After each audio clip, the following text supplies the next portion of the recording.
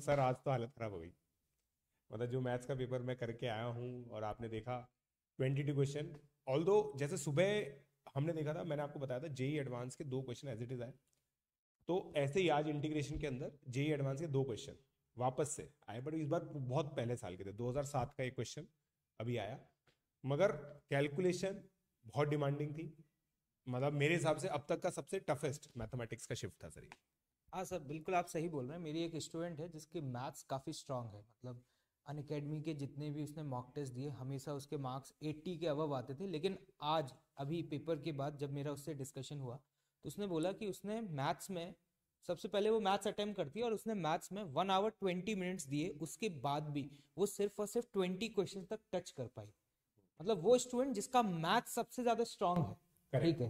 वो जब अगर यहाँ तक टच कर पा रहा है तो और स्टूडेंट की तो सर मैं क्या ही बात करूँ और कई सारे स्टूडेंट से बात भी हुई तो वो तो ये करते कि सर मैथ्स में तो छह या सात ही मेरे सही होंगे। रिएक्शन हाँ, के अंदर भी अपन ने सुना थे अब दोस्तों मतलब अब क्या करें हम लोग यार हम लोग तो मतलब इन सब सिचुएशन पे मतलब वही लाइट मूड करने के लिए हँसी सकते हैं और क्या करें।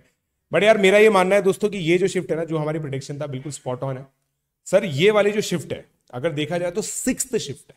राइट है ना? छठी शिफ्ट थी राइट तो यहाँ पे आके मैक्सिमा आता है जनरली राइट यहाँ पे हर साल, पिछले साल भी इसी जगह पे कहीं मैक्सिमा आया था। अब इसके बाद चार शिफ्ट बची हैं।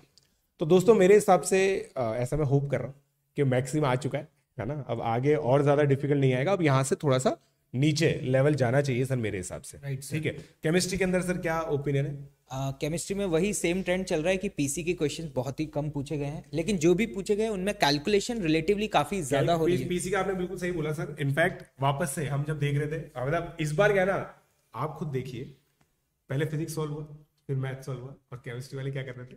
लास्ट में मतलब इवन आप केमिस्ट्री में पीसी के कई सारे क्वेश्चंस के फाइनल डिजिट तक सर आंसर ही नहीं आ पा रहे हाँ। थे।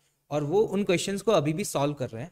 और उसी में भी काफ़ी ज़्यादा क्वेश्चन ऐसे हैं। अभी मेरे को काफ़ी सारे स्टूडेंट्स के मैसेज रिसीव हुए तो मैं उनको पढ़ रहा था तो कुछ कह रहे थे कि, सर केमिस्ट्री का पेपर में कुछ क्वेश्चन तो ऐसे थे जो समझ भी नहीं आ रहे थे। करेक्ट मतलब अब धीरे धीरे ऐसा फील हो रहा है कि जो जेई मेंस का लेवल है वो अब इंक्रीज कर चुका है। और फिजिक्स का पेपर काफ़ी रिलीवेंट लग रहा था जेई मेंस के पॉइंट ऑफ़ व्यू नहीं आपने बोला ना इस बार तो कि इस बार का जो जेई मेन का पेपर था वो बिल्कुल भी किसी भी एंगल से हलवा नहीं था राइट सर आपने भी मतलब बहुत मेहनत की सॉल्व करने के अंदर।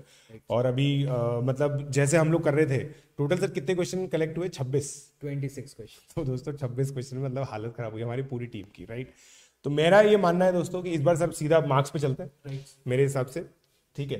एक मिनट। ये है सर प्लीज़ तो देखिए हमें जो भी स्टूडेंट्स के रिस्पॉन्सेज मिले और आपने देखा ही होगा अगर आप हमारे और भी प्रीवियस वीडियोस देख चुके हैं तो यहाँ पर ये थर्टीन जनवरी इवनिंग शिफ्ट सर ये तो एकदम हालत खराब होगी इसको देख के। मतलब आप देखिए एक, एक बच्चे का सर मैं आपको याद दिलाता हूँ। एक बच्चा क्या बोल रहा था? कि सर मेरी तो डेढ़ सौ नंबर पे 98 परसेंटाइल आ गई थी। हाँ। अब देखिए इस बार एक सौ पैंतालीस ले आओ तो भी आ जाएगी। आप बोल रहे थे ना कि डेढ़ सौ पे 90 परसेंटाइल मतलब डेढ़ सौ पे 98 परसेंटाइल आ रही थी। एक बच्चा बोल रहा था जब हम हमारे पहले वाली जो शिफ्ट थी वहाँ पे 165 बताया था। राइट राइट तो सर ये वाली जो चीज़ है ये मेरे हिसाब से सर इसको एक बार एड्रेस कीजिए आप।